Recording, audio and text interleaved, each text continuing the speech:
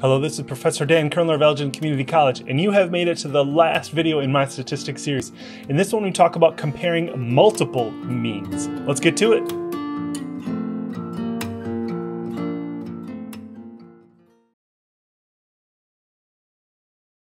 All right, so first, congratulations making it this far. This has been a long series. I hope you've enjoyed it. I know this has been uh, really, uh, it's really been fun for me. I've done a lot of work. It's been a ton of work at editing and researching and all this, but I've learned a lot. Um, I've learned a lot of interesting facts looking at some of the data that we've looked at, and I hope you found it interesting as well. Now, we've looked at means before.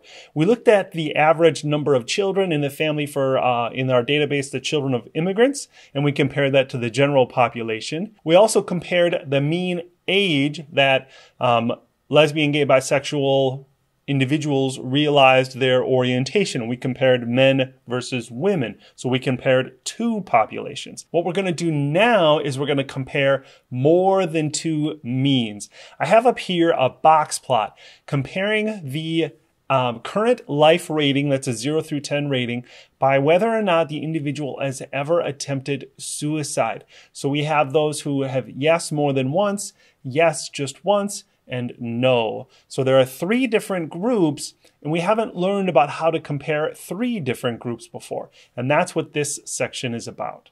The official title is One Way Analysis of Variance. Uh, it's a little confusing here. We're not actually, I mean, we're using the variance, but we're not actually comparing the variance. We're comparing the means. Uh, it's called one way in this case because we just have one factor. So we're going to look at different groups. Um, we're going to look at one factor. I'm going to use some theoretical examples to help explain how this works. Suppose I have some exam scores and I've got case one here, three different classes, and these uh, box plots demonstrate their distribution of exam scores. And then here's case two, again, three different classes. Now, if you look closely, their means, or their medians, I should say, are actually the same. However, the classes in case one appear to have more um, variance. They appear to be more spread out. And so it's hard to know, are they really different or not? Versus in case two, they're much more condensed and there does appear to be a difference between the different classes. So we need some theory for this test.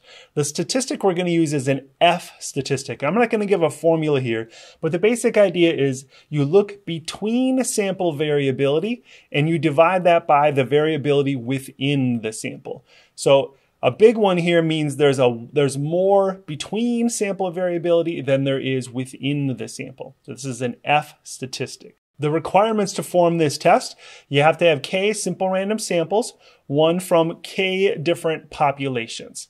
Uh, they have to be independent of each other, so they can't be paired or grouped or anything.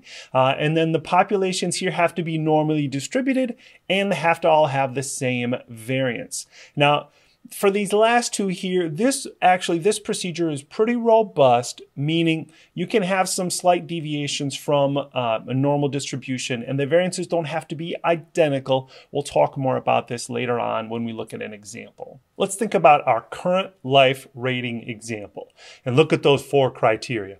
First of all, they're k simple random samples. Um, from k different populations. So each of those three k populations um, the yes more than once, yes once, and no, they're different populations. Uh, okay, so second one, they have to be independent of each other, right? So they're, they're totally different individuals. These individuals were randomly selected to participate in this survey. So that is definitely true. Now, the populations have to be normally distributed. We have pretty large sample sizes here, so we can use histograms to see this. So let's take a look at those three histograms. And you can see here, if we put a normal curve, the first one looks pretty good. It's a little skewed left. The other two are a little blocky, but they're relatively normally distributed. So this one is reasonable enough. They're not terribly skewed. So we're going to say this condition has been met.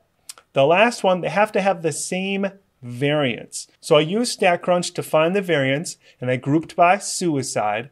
And you can see here, they're not all the same. So a good guidance here is to find the variance ratio of the largest variance over the smallest variance. And you don't want that to be more than two. In this case, you can see we have 3.4 over 2.7, definitely less than 2. So we're going to say that that's okay and this test should work. We're going to say that's okay and this test should work then. We should be able to do an ANOVA test. So let's dive in and try this hypothesis test. You know the steps by now. Our null hypothesis here is that the mean is the same for all the groups. In this case, it's the mean life rating should be the same um, whether the individual has attempted suicide and all the different responses they could have there. The alternative is just that at least one of the means is different. Doesn't mean they're all different from each other. But the null hypothesis is that they're all the same. Well, then the alternative is that at least one is different. Our alpha, we use our same alpha as always, 0.05. The test statistic, we're going to use StatCrunch to find this F between sample variability divided by the within sample variability. So in StatCrunch, this is stat, one-way ANOVA with data. And we're looking where all our variables are actually in the same column and it's the life now. And then um, the groupings are in the uh, suicide column. So we'll choose that. And then we just hit, uh, just hit compute. And that gets our F statistic of 53.04. The p-value here, very small, less than 0.0001. We could have kind of seen that on the box plots. They looked pretty different. So it's not a surprise that the p-value is very, very small. That tells us we should decide to reject the null hypothesis. And for our conclusion, we would say, yes, there is enough evidence at the 0.05 level of significance to support our claim that the mean life rating is not the same for all levels of responses to that ever attempting suicide question. Now, just to reinforce this, I did some confidence intervals. So I have these confidence intervals from StatCrunch.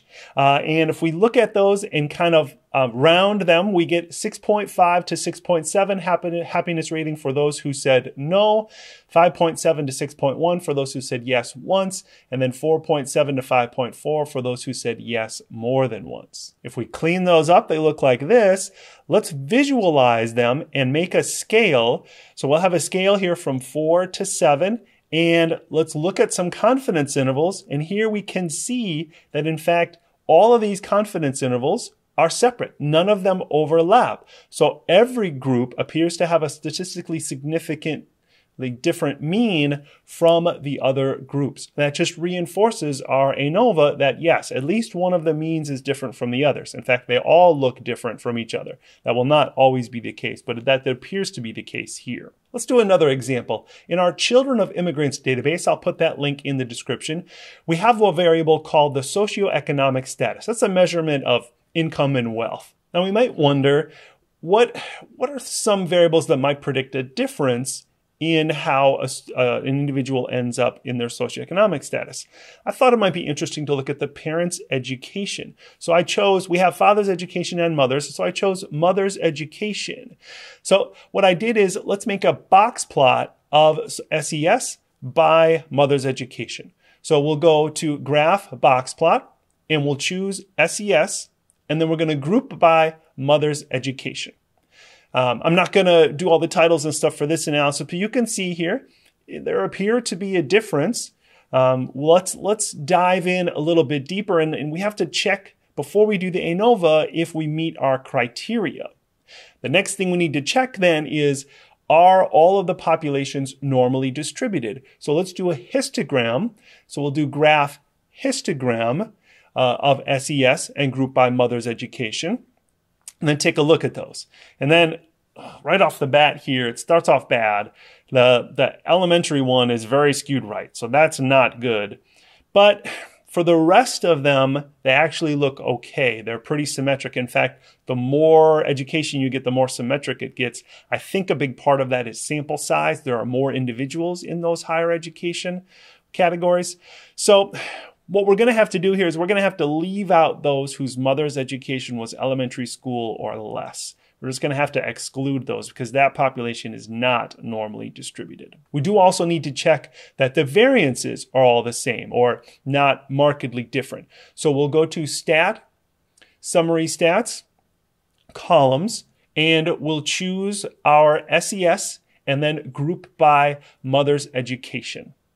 And you can see all these variances. Remember, we're worried about the largest one being more than double the smallest one. And they are all fairly similar here. So we should be good. We should be fair to assume that the variances are all the same. So let's try the hypothesis test then. Our null hypothesis is that the mean SES, the average socioeconomic status, is the same for all levels of mother's education. And then the alternative claim would be that at least one of the means is not equal to the others. Alpha, our level of significance, we'll use our 0.05, compute the test statistic. This is our between sample variability over our within sample variability, and let's use StatCrunch to do that. Again, that's stat, one way ANOVA with data. And again, for ours, our variables are all in the same column. So we're going to use SES. Uh, and then the factors are in the mother's education.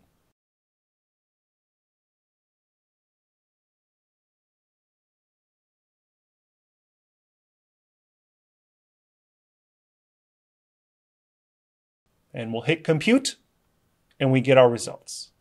So our F statistic very large, about 976. P-value very small, less than 0.0001. When we make our decision then, it's easy. We'll reject the null hypothesis. And so our conclusion is yes, there is enough evidence at the 0.05 level of significance to support the claim that the mean socioeconomic status is not the same for all levels of mother's education. And again, that reinforces what we saw on that box plot.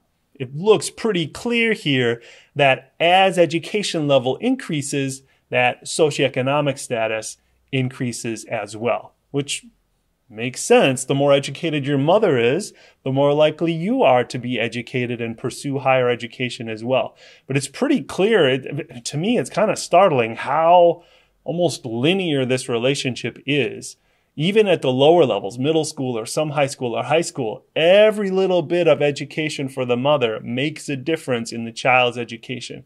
This is fascinating. Now keep in mind, this is just in the children of immigrants database. So maybe this relationship is more pronounced for immigrants. You know, we don't really know here. So, but it is, it is very pronounced certainly for this population. So just to bring it all full circle, this is one-way analysis of variance, ANOVA. Uh, this is what we use to compare multiple means, more than two means. That's what ANOVA is for. We have these criteria here, um, and there is some flexibility in those last two, but your populations have to be normally, normally distributed, and you can use histograms to check that, or if you have small sample sizes, you can do a QQ plot. Uh, and then for that last one there, your variances should all be the same, or your largest one shouldn't be more than double your smallest one. Okay, well, we made it that is the last video. Congratulations, you made it. Um, I would say if you like this, you know, subscribe, hit the bell for more, but there are not going to be any more statistics videos. This is my last one. You can certainly, uh, if you like this, subscribe to my channel. I'll be coming out with more videos periodically, but I'm so appreciative of you for watching. Um, and always, I always want to thank the Elgin Community College Board of Trustees. They're the ones that approved my sabbatical for the spring of 2021 semester. And that was the only way that I had the time to record all of these, research all of these, find good examples, find data for you, uh, and I really appreciate it. So thank you so much for watching. If you've watched this whole series, well, you might be one of my students and you had to. Uh, if you are not one of my students, I really appreciate you as well. Thank you so much, and I will see you in another video.